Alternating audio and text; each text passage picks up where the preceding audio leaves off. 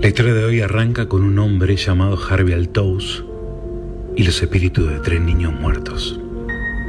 Harry nació en 1962 y a los cinco años se mudó junto a su familia a una granja que hasta hoy en día lo persigue en sus pesadillas. En la pequeña casa donde vivían había un sótano y en el sótano había un pozo. Era normal en esa época. Cavaban un pozo y construían una casa encima. Lo hemos visto en más de una historia, en más de una película.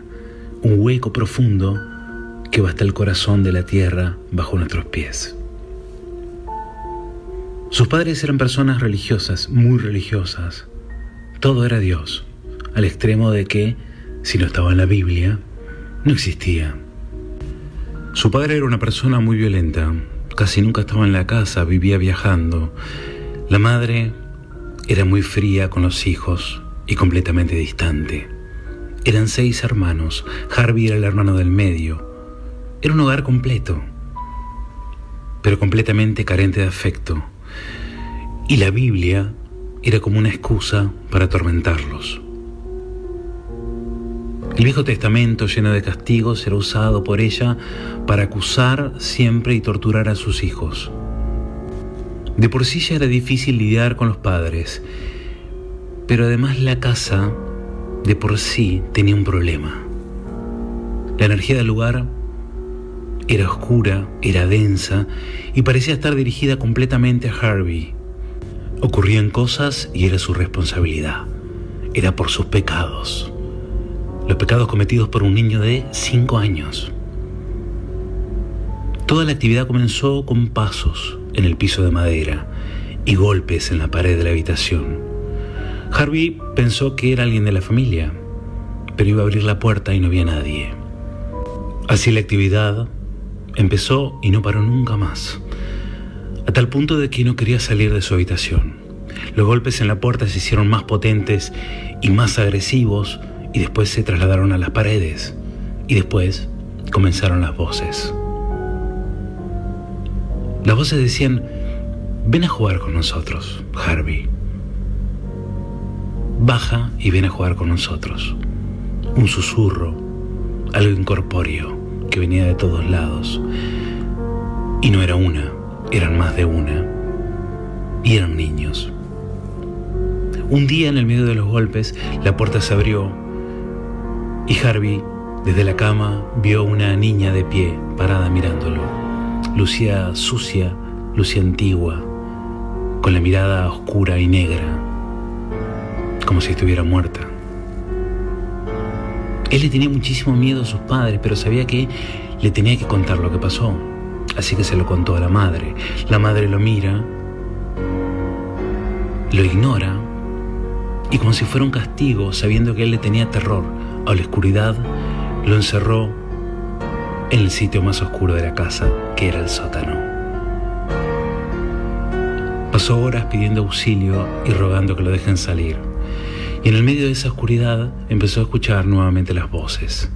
Harvey, Harvey, juega con nosotros. Vio cómo aparecía nuevamente la figura de la niña de la puerta y dos caras más a su lado. Eran tres niños. Él sentía que los niños estaban relacionados de alguna manera al pozo, que estaba en el sótano. Quizás se habían ahogado ahí. Al tiempo salió y le habló a la madre de esto que había visto en el sótano. Y ella se enojó, tomó la Biblia, buscó versículos para castigarlo por hablador, por mentiroso y por haber sido seducido de alguna manera extraña por el diablo. Esto continuó por mucho tiempo y a los nueve años Harvey era una persona pequeña y desesperanzada. A los nueve años quería suicidarse. No veía salida a lo que estaba pasando y cada vez era más duro y más difícil. Cierto día comenzó a, a caminar por la casa y de repente cayó en un sueño y se vio rodeado de una niebla blanca y aparecieron los tres del sótano, y le dijeron que no se preocupe, que se iban a encargar de la madre y que todo iba a estar bien. Nos encargaremos de ella, dijeron los tres. Al poco tiempo encontró una muñeca rota y vieja en su habitación. Automáticamente la relacionó con los chicos y dijo, se lo voy a dar, de alguna manera se lo tengo que dar. Ya no representaban una amenaza para él, a pesar de que las manifestaciones continuaban. Bajó al sótano, se lo dejó al costado del pozo y la muñeca desapareció. Cierto día Harvey se acostó a mirar TV y se quedó dormido. Y se despertó, o al menos eso recuerda, y vio como su madre se acercaba a él, pero lucía diferente. Tenía un vestido blanco muy brillante y largo que arrastraba por el suelo. Él pensó que venía a retarlo por haberse quedado dormido en el piso, pero ella pasó delante de él, lo atravesó y se dirigió a una habitación. Él pudo ver cómo en ese lugar había una cuna que no estaba en la casa. En la casa no había ningún bebé.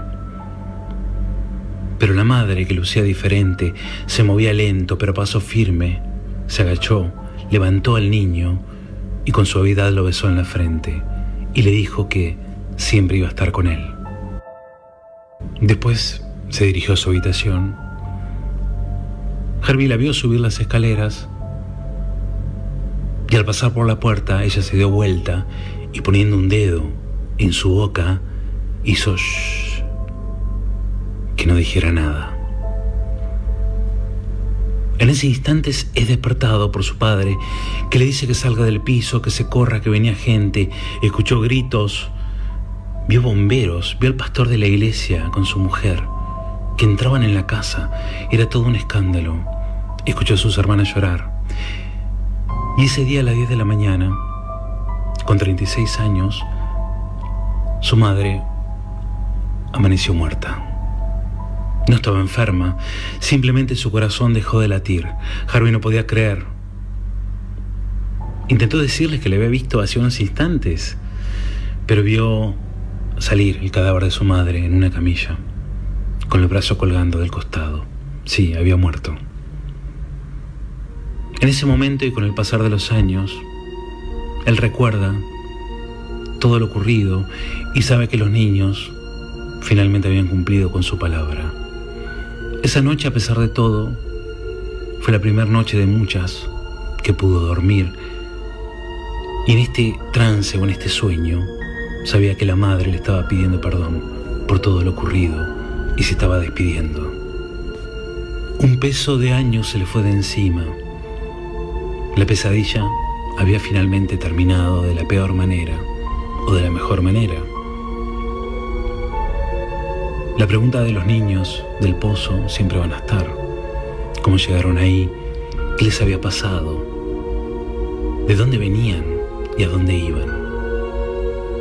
¿Habrán matado a su madre? Y, por sobre todo, ¿estarán ahí todavía?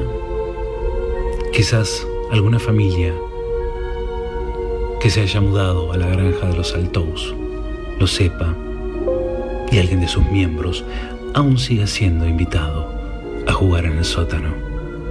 Bienvenidos a Línea Paranormal.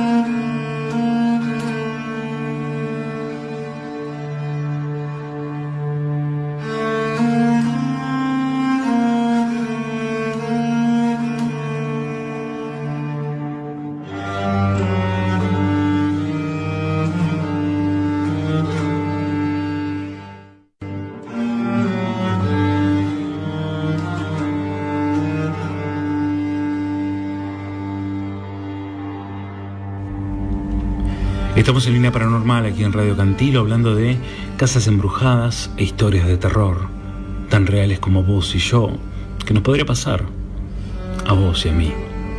Nos puedes escuchar por radiocantilo.com en el 101.9, buscarnos por Instagram o por YouTube donde están todos los programas anteriores. Y hoy hablamos de la historia de Harvey Altus. Es una historia poco conocida, una historia que arranca con un lugar embrujado donde posiblemente sucedieron cosas muy malas, pero que nos da muchas aristas muchos puntos para empezar a analizar y para ver, empezando por una actividad inteligente de fantasmas, que se muestran claramente y no tienen ningún problema. Arrancan con golpes que van aumentando hasta que se hacen presentes físicamente y lo podés ver. Harvey los podía ver. Dentro de estas aristas, uno de los puntos importantes de la historia eh, es que muchas veces pensamos que lo negativo está fuera y que somos nosotros quienes estamos siendo afectados por el lugar. Y muchas veces no es así. El lugar reacciona a nosotros. ¿Qué pasa si uno trae una energía muy negativa de dentro que la viene acarreando por X razón? Por cosas de la vida, porque fue afectado por alguna fuerza y entra a un lugar muy positivo va a haber un choque, va a haber una reacción del lugar a nosotros. Muchas veces los embrujados somos nosotros. Y ese es uno de los puntos que deja muy clara esta historia, sobre todo por el lado de la madre y el padre de Harvey. Otro de los puntos es que un lugar puede llegar a estar muy embrujado y tiene una energía muy negativa y puede tener mucha actividad. Esta puede llegar a ser aliada nuestra, de alguna manera extraña como estos tres fantasmas que parecían ayudar o comprender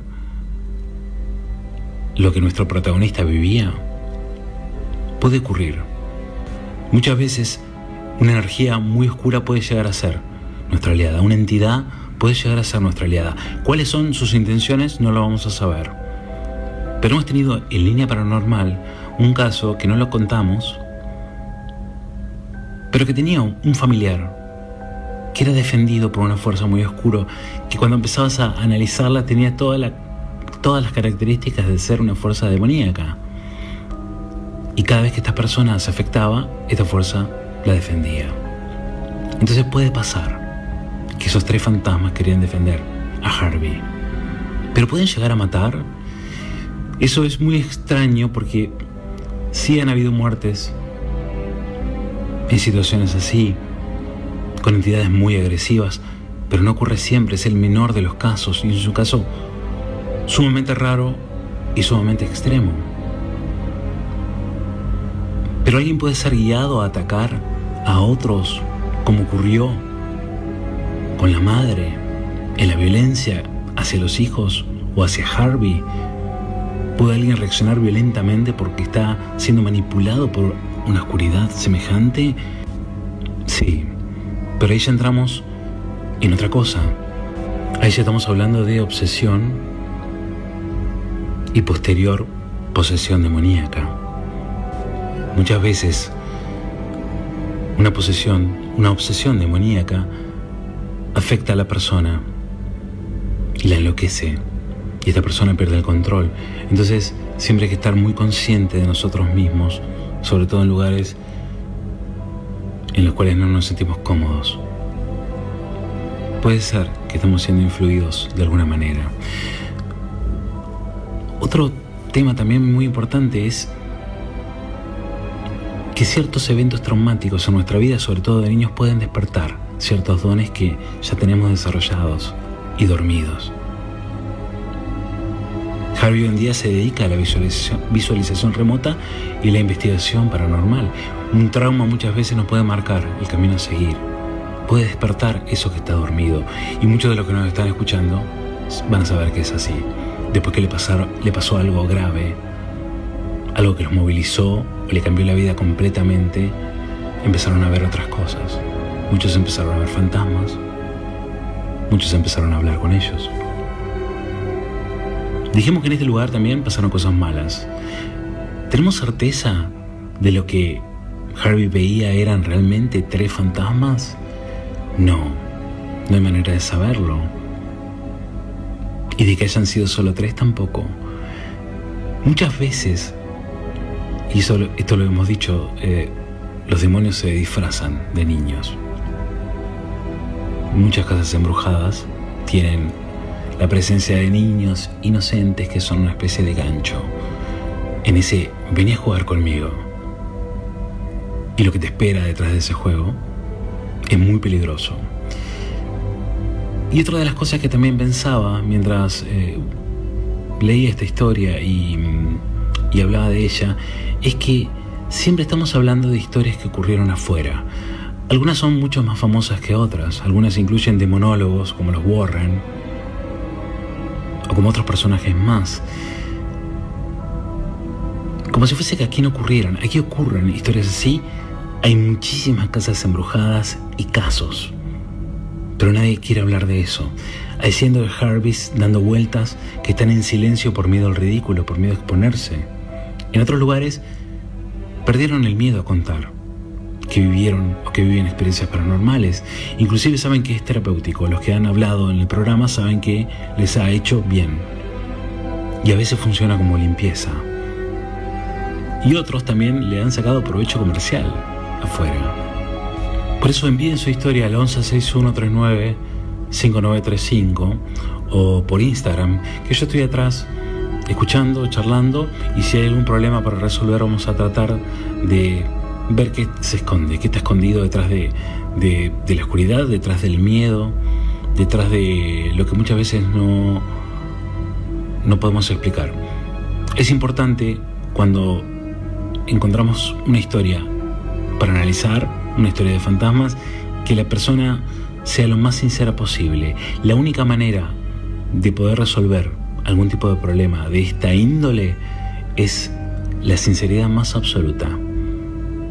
Así que si tienen algún caso para contarnos, pueden mandarlo al 1161 395935 por Instagram, en arroba línea paranormal, que yo estoy ahí atrás, recibiendo todas sus historias, contestando todos los mensajes, viendo si hay algún problema, viendo de qué manera se podría llegar a solucionar y tratando de escarbar en el misterio para llevar la historia a la luz.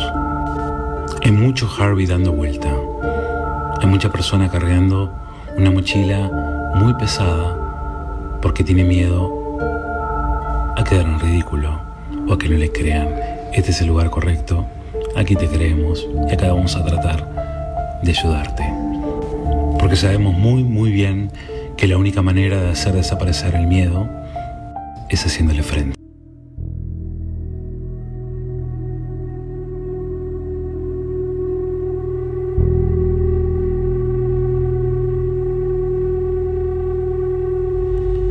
Que pasa cuando te ocurre algo y nadie te cree? Supongamos que es una situación común de la vida y nadie te cree porque es extraordinaria. Imagínate cuando ocurre algo que no puedes explicar racionalmente porque va mucho más allá de lo racional.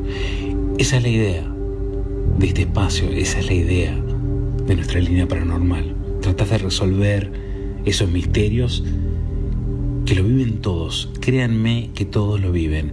Y si a ustedes no les pasó, le pasó a un amigo, a un familiar. Pregúntele a sus padres, a sus abuelos. Todos tenemos una historia de terror para contar, algo que no podemos explicar, algo que no siempre es algo oscuro, muchas veces es algo luminoso y que nos habla de la trascendencia del espíritu. Y llegó el momento de hablar de eso, de los mensajes que, hemos recibido al 1161395935. Esta línea que está abierta toda la semana, todo el día. Puede mandar mensajes en cualquier momento, en el momento que le están pasando las cosas. Y vamos a estar ahí para responderlos. Esta semana recibimos dos mensajes muy diferentes, uno que está muy relacionado con el tema de hoy, con lo que hablamos del caso de los niños del sótano. Facu, de Santiago del Estero, nos manda su experiencia. Eh, tiene que ver con un lugar en donde vivió por poco tiempo y donde pasaron muchas cosas eh, que las pudo ver, además de escucharlas. Vamos a ir a su mensaje a ver qué es lo que nos tiene para decir. Hola Rodri, buenas noches, ¿cómo estás? Bueno, te mando un mensaje con mi experiencia paranormal, de hecho fue la, la primera que me pasó de tantas y, que me llevó a creer en estas cosas. Eh, alquilé un mes en un departamento que estaba lleno de actividad. Eh, estábamos con mi novia y no podíamos dormir a la noche porque veíamos sombras, cosas que se movían, en la, sentíamos ruido de cosas que se movían en la mesa. este, sentíamos ruidos de, de como si fuera un taladro o algo que estaba perforando la pared.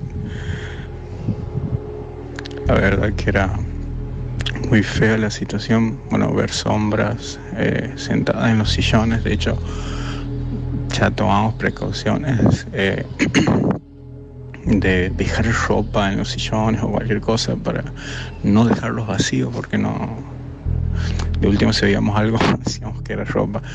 Eh, pero era muy feo. Una vez me, me tocó despertarme así de golpe y ver una una mujer que estaba arriba de mi novia una mujer grande una, señora una anciana eh, bueno, ella también veía las cosas, así que como te digo, era un mes nada más y, nos fuimos, le mandamos cualquiera al dueño y le dijimos, mira, no, no podemos estar más. De hecho, fueron, creo que fue después del 10 de diciembre, porque me acuerdo que pasamos año nuevo ahí con las familias en el departamento y, y en la habitación la gente sentía frío y te estoy hablando de diciembre en Santiago del Estero o sea, nosotros también en los primeros días, cuando no nos avivábamos a estas cosas, dejábamos la, ventana abierta y nos tapábamos los pies porque sentíamos un frío en los pies. Eh, bueno, te comento un poco cómo es la casa. La casa son de esas típicas casas grandes donde se alquilan habitaciones. Yo vi el aviso y como el dueño me ve a mí que que voy con mi novia, me dice, mira, tengo para ofrecerles el departamento que está arriba en la terraza. O sea, si no tengan que compartir, no tengan que compartir baño ni tengan que compartir este la cocina, ¿no? Y bueno, la alquilábamos nosotros, pero como te digo, había estas cosas, sentíamos en la terraza que era grandísima, por ejemplo. Bueno, el perro ladraba, el, el dueño vivía abajo, el perro ladraba toda la noche y sentíamos pasitos en la, como chicos que corrían por la terraza. Eh, era una cosa escalofriante. Y bueno, lo, un poco para contarte la historia de la casa porque queda cerca de donde yo crecí y tiene un club de básquet en la esquina donde jugábamos nosotros. Bueno, un día haciendo bromas con unos amigos, después que me voy a esa casa, digo, hey, alquilado aquí cerca, mira si sabía. Este, bueno, nos empezamos a reír, la lleva que les comento dónde vivía y ellos me dicen, uh, no, no sabes a dónde te has metido, menos mal que te has ido, me dice, ahí no le duran los inquilinos. Es una familia bastante complicada, de hecho los dueños que han quedado son dos hermanos, una hermana y un hermano. Ellas dicen que, que es esquizofrénica porque grita y habla por las noches y el hombre es muy violento. Ha tenido denuncias de violencia de género con la mujer, bueno, siempre se pelea con la gente y los padres de ellos parece que han muerto en un confuso episodio, en cosas de barrio. Pero bueno, eso es más o menos el mensaje que te quería dejar. Buenas noches. Gracias Facu por compartir tu experiencia, que la verdad que tiene mucho que ver con lo que hablamos al principio, ¿no? La casa de Harvey y los niños del sótano, relacionado como una casa embrujada. Y los amigos que le dicen, ¿dónde te metiste? ¿no? Esa casa está complicada. Es a veces una buena idea preguntar a los vecinos antes de ir a comprar o alquilar un lugar. Muchas veces uno puede irse, como él tuvo la suerte, y muchas veces no. Uno dice, ¿por qué te quedas? Y a veces no queda otra más que quedarse en el único lugar que tenemos para, para, vivir y enfrentarse a todas estas cosas y a raíz de eso han nacido cientos de historias. Él menciona muchos elementos, eh, el mito de la Old Hag, que lo hemos mencionado acá, la vieja bruja que se te para o sienta en el pecho y te asfixia, un evento clásico de parálisis de sueño junto con The Hatman. También pasos, chicos corriendo, perros ladrando toda la noche y una casa inmersa en una energía muy oscura que atrae, ¿no? Atrae más y más y te consume si no te vas. Lo bueno es que sea lo que sea que habitaba ahí, no lo siguió. Muchas veces nos siguen y se quedan con nosotros. Muchas veces el lugar simplemente está embrujado y quedará así esperando por el siguiente habitante.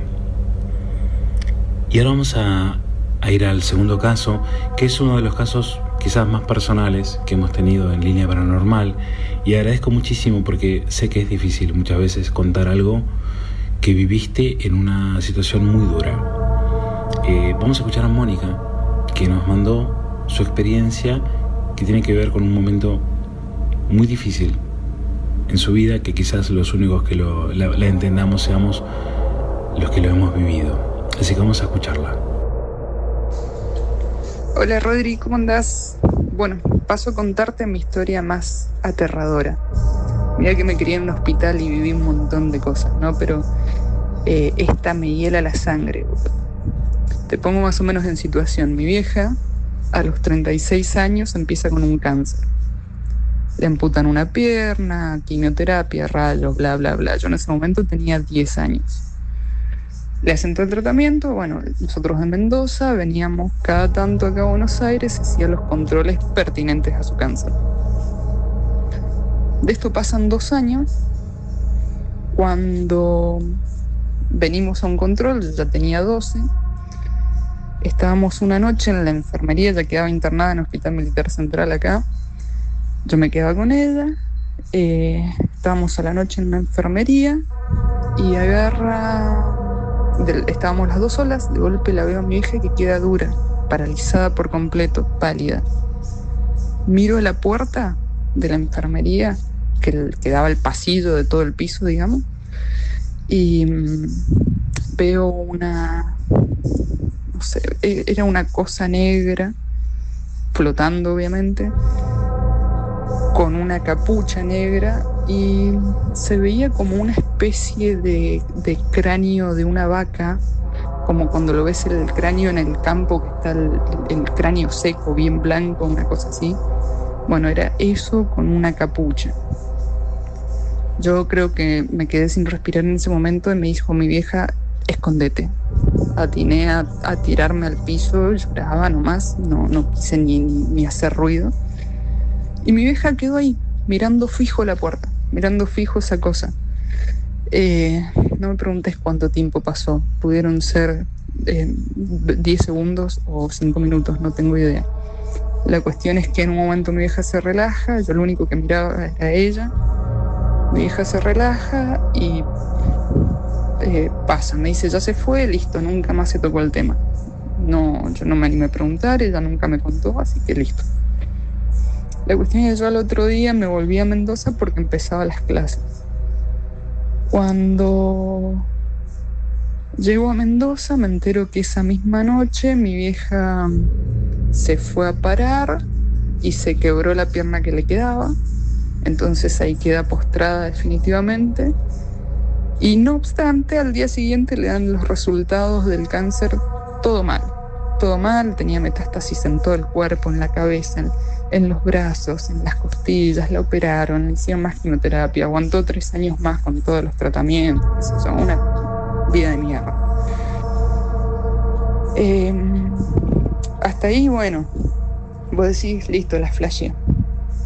Pero bueno, no sé, me quedo siempre dando vueltas. A los tres años, cuando mi vieja fallece, yo la noche anterior estaba durmiendo en el hospital con ella, como siempre, ella totalmente drogada, inconsciente. Y mm, tuve una especie de, parálisis de sueño donde vuelvo a ver el mismo bicho que mm, me agarra, casualmente yo estaba durmiendo con los brazos, con las manos entrelazadas en la nuca, porque estaba una especie de catrecito ahí al lado de ella. Y siento que me agarran, de golpe yo le alcanzo a, abrir los ojos y estaba el bicho este, o sea, el cráneo este con, el, con la capa negra, con la capucha negra. Eh, no sé tampoco cuánto pasó, la cuestión es que hasta que logré reaccionar y moverme, eh, me desperté con la certeza de que ya a mi vieja no le quedaba nada. Al otro día, de hecho, falleció. Y no sé, bueno, eh, eh, al día de hoy que, que te juro que me pone la piel de gallina esta historia. Vos decís, por ahí las flasheas, no sé, no sé. Eso me sabrás decir vos.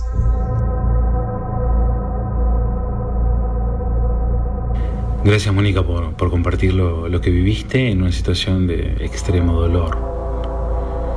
Un hospital, un, un sanatorio, inclusive un cementerio, son lugares que están llenos de tanto dolor y de tanta angustia que atraen entidades y monstruos que se alimentan de eso. Siempre decimos que muchas veces el miedo es un gran alimento para estas cosas, por eso tenemos que hacerle frente. El dolor también lo es. Y ella nos cuenta de una entidad que tiene la imagen clásica de la muerte, solo que en vez de tener una calavera, tiene una, una osamenta, un cráneo de animal. Yo no, no creo que sea la muerte, yo creo que es una entidad, es algo que se alimenta del dolor y que asumió alguna vez esa forma y que sigue vagando los, los pasillos de ese lugar porque ella no lo volvió a ver. Fue ahí y en ese momento. Tanto el caso de Facu como el caso de ella nos habla de cierta sensibilidad de ellos también para ver eso. Y muchas veces una situación traumática abre cierto canal para que puedas ver lo que normalmente no se ve, lo que está oculto. En este caso, este tipo de figuras. Y cuando vos las ves, ellos te ven. Cuando vos lo sentís, ellos te sienten. Es una ventana por la cual uno se puede asomar y los otros lo saben. Así que gracias por compartirlas. Y quienes hayan vivido lo parecido y lo quieren hablar, hablar con nosotros, nos pueden escribir al 1161395935, que estamos acá para, para acompañarlos, para ayudarlos y para encontrar algunas respuestas en un mundo que a veces hace oídos sordos y ojos ciegos al mundo espiritual.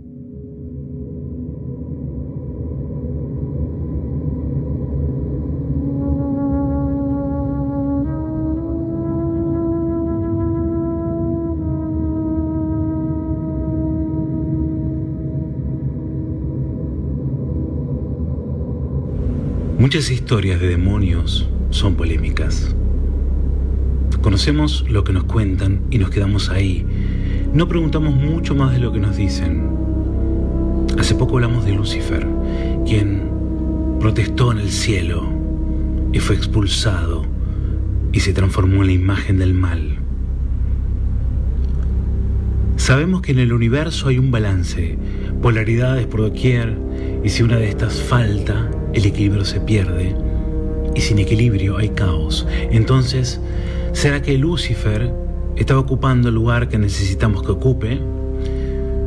¿O que el mismo Dios necesite que ocupe? De cierta forma, necesitamos esa otra cara, por más que nos atemorice. Y así es como muchos demonios reales fueron creados por el hombre, no como un personaje imaginario, sino dando un sentido maligno a una figura que quizás no lo tenga. Hoy vamos a hablar de un demonio muy especial que tiene que ver con esto que dijimos recién, porque es demonio, pero también es una diosa oscura, y es Lilith. Todos conocemos la historia del Génesis donde se menciona a Adán y Eva, pero poco se conoce de Lilith. Según textos apócrifos, ella fue la primera mujer de Adán, que había sido creada del barro al igual que él. O quizás Adán fue el primer esposo de la mujer como soberana de la creación. Nadie está por encima de nadie y Lilith lo sabía. El Zohar, escrito en el siglo XIII, y el alfabeto de Ben Sira la mencionan. Lilith fue la primera mujer de Adán, proclamaría igualdad y fue expulsada por esto. A continuación, Eva es creada a partir de una costilla, no de la tierra, como Lilith. Y así fue como ella abandonó el paraíso y fue transformándose en un ser rebelde que iría en búsqueda de venganza por lo que le hicieron, alimentándose de la sangre y del alma de los hombres. Ella es mencionada en la Biblia hebrea una sola vez. Hay vacíos en la historia que fueron hechos a propósito. Si se encontraban con algo que podía llegar a generar polémica, esto era borrado o extirpado. Entonces muchos personajes o entidades fueron eliminados y terminaron en estos textos perdidos. Dicen que Lily se escapó del paraíso, se fue transformando en esta bestia, en este demonio, en un sucubo, y después albergó a otro desterrado, uno de los primeros malditos llamado Caín. Comprender no es justificar, pero los actos que devinieron de este ser pueden llegar a ser comprensibles, aunque aterradores. A partir de la narración de la expulsión, a Lilith se le ha considerado la reina de los sucubos para alinearse en el bando de los enemigos de Dios al marcharse del paraíso. Según la historia, ella se transformó en una perversa ninfómana que seduce a los hombres con maestría para estrangularlos después. También ha llevado el porte de ser la madre y la reina del vampiro. No solo tiene sexo con los hombres a los que después asesina, sino que también se alimenta de su sangre. Es en esa encarnación donde Lilith se asimila a diferentes divinidades y monstruos femeninos presentes en la mitología clásica, como el Lamia, Empusa, las hijas de Hécate, las brujas, las arpías. Inclusive está relacionada con los sueños, ya que se la considera un demonio de la noche. Habíamos dicho que aparece fugazmente en la Biblia, en Isaías. Explica todo en detalle cómo Dios mismo con su espada mata a todos los habitantes de un lugar llamado Edom, un lugar poblado por enemigos acérrimos. Y dice, también allí Lilith descansará y hallará para sí un lugar de reposo. En estos textos también, para no nombrarla, Lilith ha sido traducida literalmente con nombres de animales, como una lechuza o una liebre una serpiente, evitando toda referencia a la figura precedente de Eva. Las variaciones del mito llevan a ella a convertirse en seductora de estos propios hijos de Adán y Eva, abordando a Caín con palabras de consuelo y reposo tras la muerte de Abel, o asimilarla con la propia serpiente del paraíso, dando cuerpo de serpiente mientras Satán daba cara humana y voz, la cual sedujo a Eva, como dicen los frescos de Miguel Ángel en la capilla sextina. Un relato de Primo Levi nos cuenta que Lilith es la amante del mismo Dios, creador, y que vive en el Mar Rojo comandando una corte de demonios, otra afirma que Samael, luego Satán, el ángel caído, se convertirían en pareja de Lilith. E incluso juntos van a seducir a Eva para que engendre a Caín. Por eso es que en una serie llamada Lucifer, ella aparece como la madre de Lucifer. Las variantes en la historia son muchísimas. Más allá de las tradiciones hebreas, el origen del mito de Lili también parece contar con raíces sumerias o arcadias. En concreto había en Mesopotamia un grupo de demonios femeninos derivados de la criatura Lilitú, con unas características que responden a esta figura mitológica, mitad humana, mitad divina, que usan la seducción y el erotismo como arma, y la noche era su hábitat natural. Todos estos monstruos, todos estos sucubos, tenían las cualidades de lo que luego fue representado como un vampiro, aunque estaban cubiertos de pelo, y su nombre derivaba de la palabra viento o espíritu. La cultura judía adaptaría así al hebreo el nombre de esta criatura maligna hasta vincularla posiblemente a la palabra Laila, que significa noche. Muchos nombres parecidos, muchos nombres que apuntan a algo, que puede variar, pero que tiene una esencia muy similar.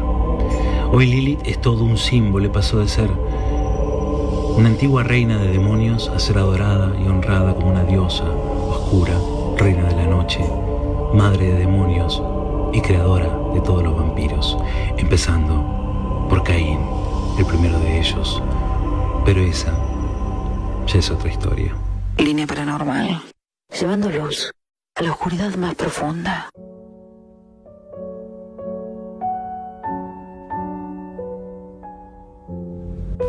Estamos llegando al final de Línea Paranormal aquí en radiocantilo.com. Gracias a todos los que están conectados, gracias a los que están sintonizando la 101.9, a los que están escuchando esto en diferido en el canal de YouTube. Lo bueno de todo esto es que es atemporal. Estas historias son atemporales, por más que sean de ahora o hayan ocurrido hace 100 años. Eh, la idea es hacer un manual, es hacer una guía para comprender un poco más de este mundo desde la experiencia, no desde la teoría. Acá hay mucha experiencia de muchos años volcada y hay gente que está trabajando con nosotros y hay una razón detrás de todo esto. Hay una misión, hay un sentido, hay un fin. No es porque sí. No lo puedo decir Algún día le voy a contar, es algo que me ha acompañado toda mi vida y que está escondido en el secreto, pero que me impulsa a tratar de ayudar a otras personas a comprender en el momento en donde nadie quizás te pueda comprender o acompañar. Así que manden sus mensajes al 1161395935. Gracias a Mónica, gracias a Facu que nos han mandado sus historias hoy que han sido muy personales. Eh, la semana que viene a hacer un programa diferente. Vamos a tener un par de cosas nuevas que les aseguro van a soñar con ellas. Porque cuando las escuché dije, esto va a traer cola y así va a ser. Así que prepárense que se vienen cosas heavy y nos estamos viendo y escuchando el sábado que viene o en cualquier momento en esto que es el echar un poquito de luz en la oscuridad más profunda. Gracias a todos por estar ahí.